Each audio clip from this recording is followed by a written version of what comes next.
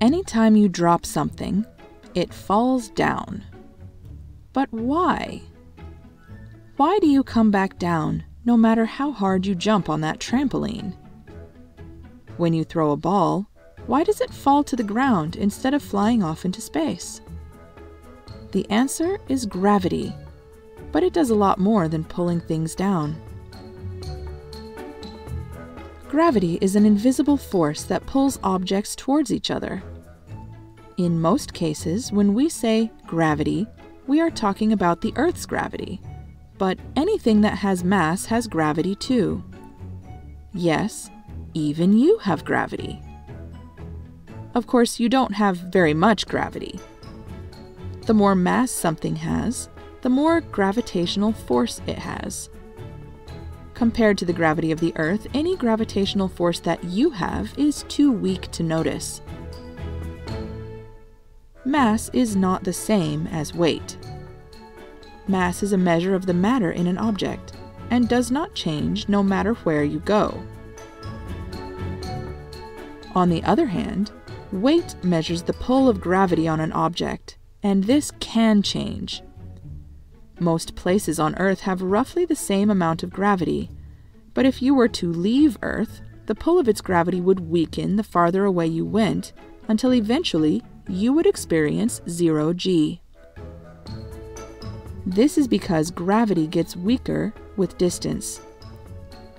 There is still gravity in space because everything that exists exerts gravitational force. But the gravitational pull from something like a person or even a spaceship is so small, it feels as though you have no weight at all. If you were to land on another planet or celestial body, the pull of gravity would be different depending on its mass, and you would not weigh the same as you did on Earth.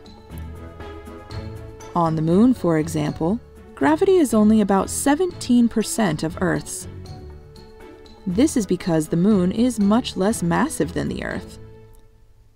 A person who weighs 100 pounds or 45 kilograms on Earth would weigh only 17 pounds or 7.5 kilograms on the moon. On Mars, the same person would weigh 38 pounds or 17 kilograms.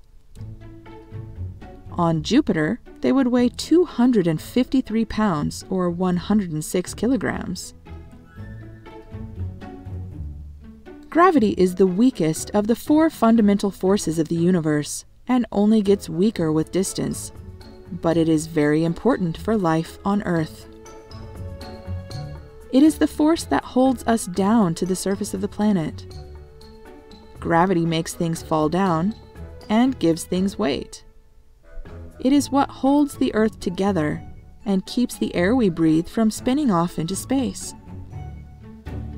Gravity also holds our solar system together. The Earth's gravity holds the Moon in orbit around the Earth. The Sun's gravity holds the Earth and all the other planets in orbit around the Sun. On a larger scale, even the Milky Way galaxy is held together by gravity. Scientists believe that a supermassive black hole sits at the center of the Milky Way, with its gravity holding all the gas, dust, stars, and systems in place around it.